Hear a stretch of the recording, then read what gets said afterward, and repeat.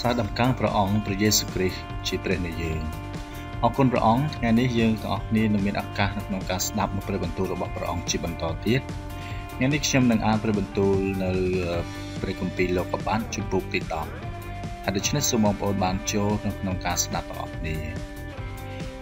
ព្រះគម្ពីរលោកុបាទជំពូក10ពូជពងរបស់ណូអេក្រោយពីគ្រាទឹកចំនួនលេចមក នោះពួកកូនណូអេបានបង្កើតកូនតទៅហើយបញ្ជីដំណរវងពីសេមហាំនិងយ៉ាប់ហេតជាកូនគាត់ នោះគឺដូចនេះឯកូនរបស់យ៉ាប់ហេតគឺកូមើម៉ាកុកម៉ាដាយយ៉ាវ៉ានទូបាលមេសេកនិងទីរ៉ាកូនរបស់កូមើគឺអូខ្នាសភីរីផាតនិងតូកាម៉ាកូនរបស់យ៉ាវ៉ាន គឺអេលីសាតាសឺពួកគីទីមនិងពួកដូដាដានីមគឺពួកអ្នកទាំងនោះហើយដែលបានបែកទៅក្នុងអស់ទាំងកោះរបស់នគរទាំងប៉ុន្មានតាមស្រុកតាមភាសាតាមគ្រួហើយតាមនគររបស់គេ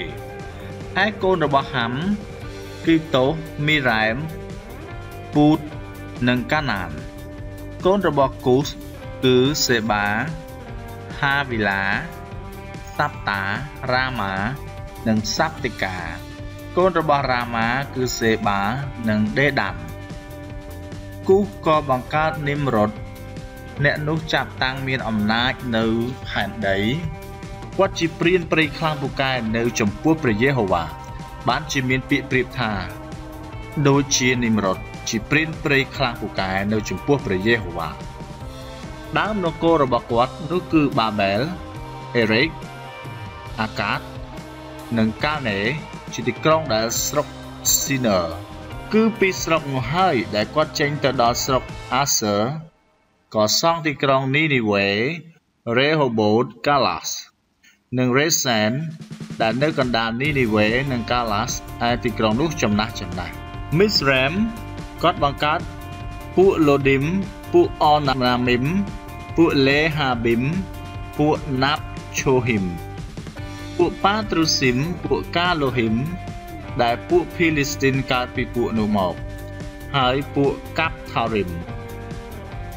ឯកាណានគាត់បង្កើតស៊ីដូនជាកូនច្បងនិងហេតដែរព្រមទាំងពួកយេប៊ូសពួកអារ៉ូមី ពួកអាម៉ូរី ពួកកើកាស៊ី ពួកហេវីពួកអើកើពួកស៊ីនីពួកអឺរ៉ាឌីតពួកសេម៉ារីតនិងពួកហាម៉ាឈីតរួចក្រោយមកអស់ទាំងគ្រួពួកកាណានក៏បែកគ្នាសរសាយឯព្រំស្រុកនៃពួកកាណានគឺចាប់តាំងពីស៊ីដូនទៅខាងកេរ៉ាហើយតាមកាហ្សាទៅខាងសូដុំកូម៉ូរ៉ាអាត្មា និងសេបោមរហូតដល់សាឡាឡាសានោះហើយជាពូជហាំតាមគ្រួតាមភាសានៅអស់ទាំងស្រុកនិងនគររបស់គេអេសេមដែលជាឪពុកនៃពួកកូនចៅហេបឺហើយជាបងយ៉ាផែតនោះក៏មានកូនដែរឯកូនរបស់សេមគឺអេឡាំអាសឺអឺប៉ាសាតលូតនិងអឺរ៉ាម កូនរបស់អឺរ៉ាមគឺអូសហ៊ុល Kecher និង Mas អឺប៉ាសាតគាត់បង្កើតសេឡាហើយសេឡាបង្កើត Heber Heber នោះបង្កើតកូនប្រុសពីរមួយឈ្មោះ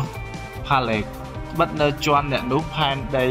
បានបែកគ្នាហើយប្អូនគាត់ឈ្មោះយុកឋានឯយុកឋានគាត់បង្កើត Almodad Celeb Ha Samavet Yera Ha Doram Usal Dikla អូបាលអបមែលសេបាអូកាហាវីឡានិងយោបាបនោះសុទ្ធតែជាកូនរបស់យុកឋានឯទីលំនៅរបស់គេគឺចាប់តាំងពីមេសាទៅខាងសេផាជាភ្នំដែលនៅខាងកើតនោះហើយជាពួកកូនរបស់សេមតាមគ្រួតាមភាសា តាមអស់ទាំងស្រុកនិងនគររបស់គេ នោះ សុទ្ធតែជាគ្រួទាំងប៉ុន្មាន របស់ពួកកូនចៅណូអេតាមពូជដំណរនៅនគរគេ គឺជាពួកអ្នកទាំងនោះហើយ ដែលបានបែកខ្ញែកគ្នាចេញទៅសះផ្សេងផ្សេងនៅផែនដីក្រោយទឹកជំនន់លិចចប់ចម្ពោះទី10អរគុណព្រះអង្គសូមព្រះប្រទានពរដល់អស់គ្នាណាអាមែន